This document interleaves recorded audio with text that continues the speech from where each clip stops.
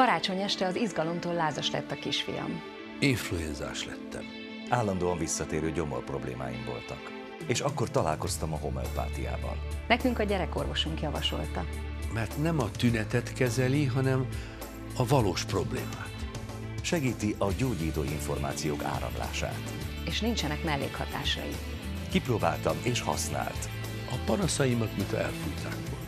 És gyógyszert sem kellett használnunk. Hiszek a homeopátiában. Én hiszek a homeopátiában. Nem kell hinni benne, működik magától is.